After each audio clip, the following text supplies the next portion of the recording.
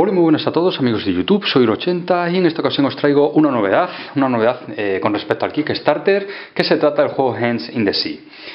Es un juego basado en la Primera Guerra Púnica, como podéis ver aquí, entre Roma y Cartago, eh, naciones que representarán a los jugadores, y es un juego, es un deck building game. Vamos a utilizar estas cartas, ¿de acuerdo?, como motor del juego, pero además eh, también esas propias cartas van a servirnos para realizar varias acciones, ¿de acuerdo? Podemos utilizar distintas acciones con una misma carta, pues desde colonizar a movimiento naval, etcétera. Bueno, lo iremos viendo sin ningún problema a lo largo de la reseña. Es un juego creado, como veis aquí, por Daniel Berger y de la editorial Nightworks. La, la, portada es una pasada, ¿de acuerdo? Con este barco, creo que es cartaginés, no me quiero equivocar en ese Mediterráneo, ¿de acuerdo? Dispuesto para la guerra. También comentar que eh, viene en esta versión Kickstarter, o por lo menos en la que me han enviado a mí, con eh, una mini expansión, ¿de acuerdo? Y también con eh, una serie de cartas que reemplazarán algunas de las que vienen en el juego, ya que han tenido algún pequeño error.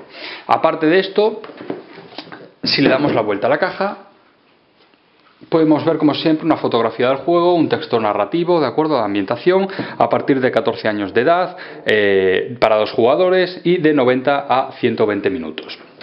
Bien, pues una vez hecha la presentación del juego, nos disponemos a retirarle el plástico. Vamos a darle la vuelta a la caja.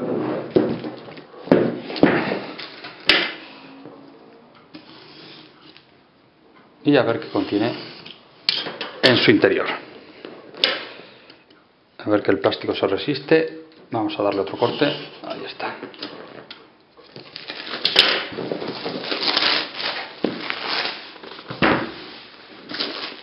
Bien. Retirado el plástico. Quitamos la tapa.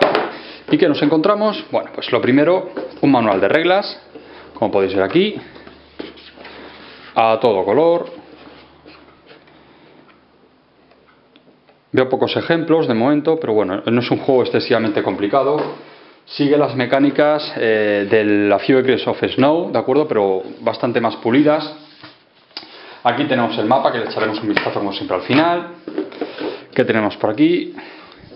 Tenemos una serie de displays que, si no me equivoco, serán para uno y otro jugador. ¿Qué tenemos por aquí? La secuencia de juego, estos son ayudas, no lo voy a abrir, ¿de acuerdo?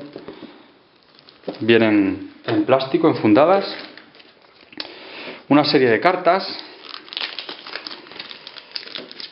Aquí viene solamente una carta, supongo que será para reemplazar alguna de las que vengan dentro, porque viene ya sola.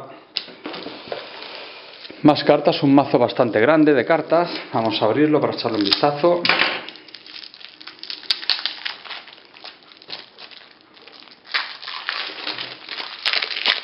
Vamos a ver. Bueno, ahí las tenemos. El arte es bastante chulo. Ahí lo podéis ver. Estas creo que son cartas de eventos, si no me equivoco. Y ahí tenéis ya las cartas para realizar las distintas acciones. Bueno, ya veremos para lo que valen cada una de ellas y la trasera de las cartas. Tienen buen tacto, ¿de acuerdo? Aunque hay que enfundarlas sí o sí, son un poco finas. Tenemos dados, 6 dados, perdón, 8 dados, 4 para cada jugador, azul y rojo.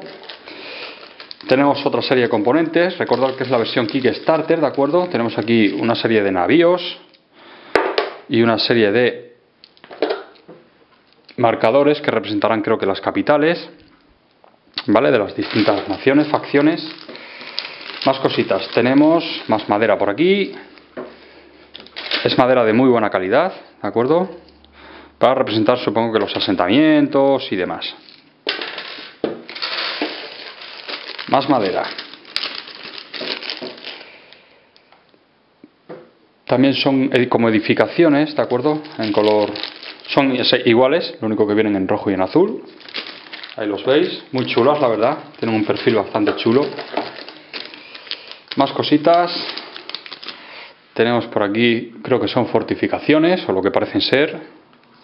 ¿Vale? Un total de 5 de ellas. más madera. Por aquí tenemos unas piezas hexagonales. Hay en distintos colores, con una gris también.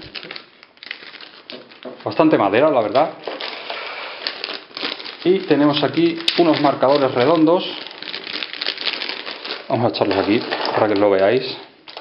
Que eran las veces, supongo que, de moneda del juego y algún otro marcador que ya explicaremos. Este es el marcador de las rondas de batalla, ¿vale? Cuando hagamos asedios. Una mecánica bastante chula, que también la veremos, y bueno, una etiquetita del Kickstarter. Bien, pues eh, una vez visto el contenido de la caja del juego, en el siguiente vídeo veremos los componentes analizados uno a uno. Un saludo.